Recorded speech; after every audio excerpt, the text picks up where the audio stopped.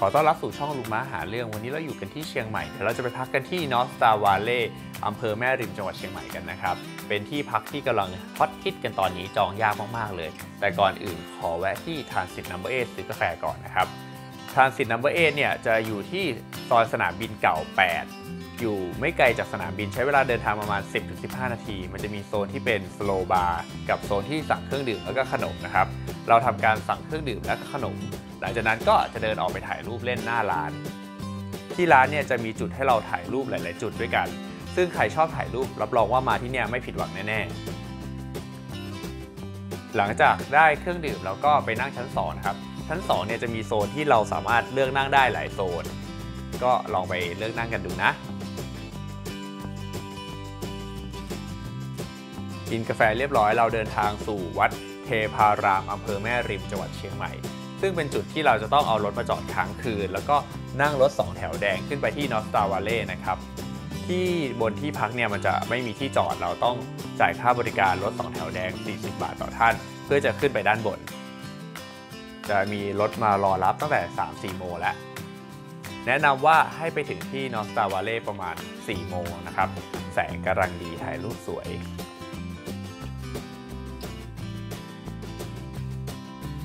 ตอนนี้เรามาถึงนอสตาวาเล่แล้วก็คือจุดที่มีสตาฟรอเราอยู่ ตรงนี้จะมีชิงช้าให้ไปนั่งถ่ายรูปได้ ใครแวะมาก็ทำการเช็คอินแล้วก็ไปถ่ายรูปเล่น พอถ่ายรูปเล่นเสร็จเราก็สั่งอาหารเย็นแล้วก็บอกเวลาไว้ว่าเราจะมาทานกันกี่โมงนะครับ หลังจากนั้นพนักงานก็จะเอากระเป๋าเราพาไปที่ห้องพัก วันนี้เราพักกันที่ห้องหมายเลข4ซึ่งเป็นห้องที่มีห้องน้ำเป็น outdoor แล้วก็มีอาบน้ำด้วย เดี๋ยวลองไปดูกันนะครับว่าเป็นยังไง ที่พักเนี่ยจะอยู่ด้านล่างต้องค่อยๆเดินลงไปนะครับ แนะนำว่าต้องเดินอย่างระมัดระวังสตาฟบอกว่าช่วงเช้าๆเนี่ยมันจะมีน้ำค้างพื้นอาจจะลื่นได้ก็ต้องค่อย ๆเดิน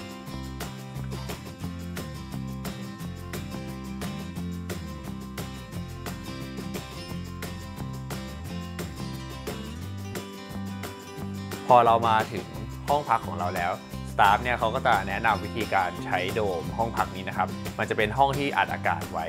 เราก็ต้องทำตามที่เขาบอกถ้างั้นเดี๋ยวโดมมันจะแฟบเดี๋ยวลองมาดูกันว่าต้องทำยังไงบ้างนะ ก่อนอื่นนะครับ ต้องเปิดซิปด้านนอกก่อน แล้วก็เข้าไปอยู่ตรงท่อก่อน หน้าทางเข้าโดมหลังจากนั้นก็ปิดซิปให้เรียบร้อย แล้วค่อยไปเปิดซิปด้านในที่เป็นประตูทางเข้าโดมนะครับ ถ้าเปิดด้านนอกทิ้งไว้เนี่ยอากาศมันจะออกแล้วทำให้มันโดมมันแฟบได้ จะเดือดร้อนเอานะครับนี่พอเราเข้าไปเรียบร้อยแล้วเราก็รูดซิปปิดให้เรียบร้อย ก็เป็นอันเสร็จสิ้นนะครับ อันนี้เป็นเสียงเครื่องเป่าอากาศข้างในนะครับจะดังประมาณเนี้ย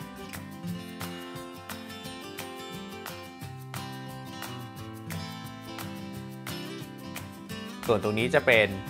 โซนอาบน้ำนะครับ ด้านซ้ายมือจะเป็นฝักบัว ด้านหลังอ่างอาบน้ำเนี่ยจะเป็นโถสุขภัณฑ์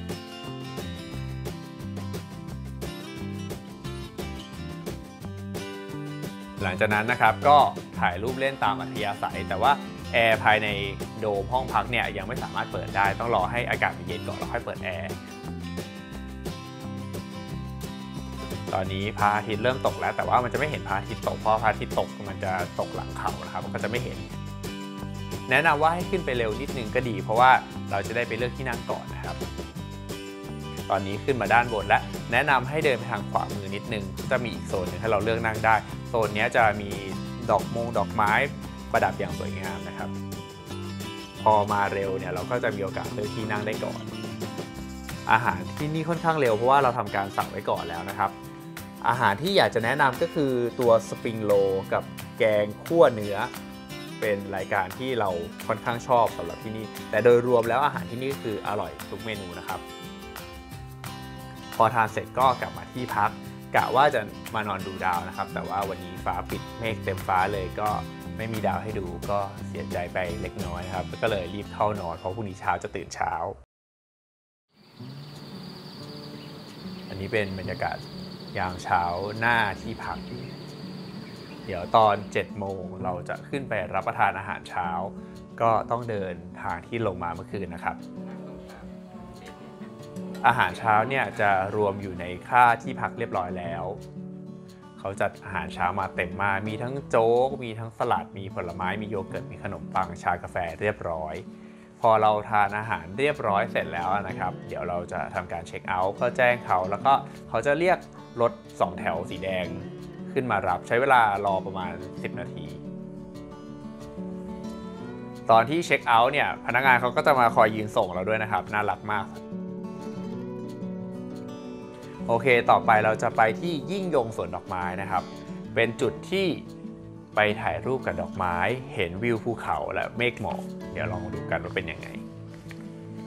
ตอนที่ขับเข้าไปเนี่ยต้องเลี้ยวซ้ายขึ้นไปทางนี้นะครับ ตามวิดีโอเลย แล้วมันก็จะมีลานกว้างๆให้เรา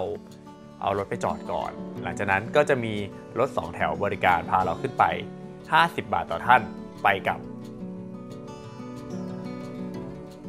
จุดตรงนี้นะครับเป็นจุดบริการ 2 แถวเดี๋ยวเราเอารถไปจอดฝากไว้ก่อน ตรงนี้พี่คนขับก็จะพาเราขึ้นไปนะครับ คือเราสามารถเอารถ ขับขึ้นไปเองก็ได้ แต่ว่าแนะนำว่าให้นั่งสองแถวขึ้นไปเพื่อความสะดวกสบาย เพราะว่าทางมันค่อนข้างลำบาก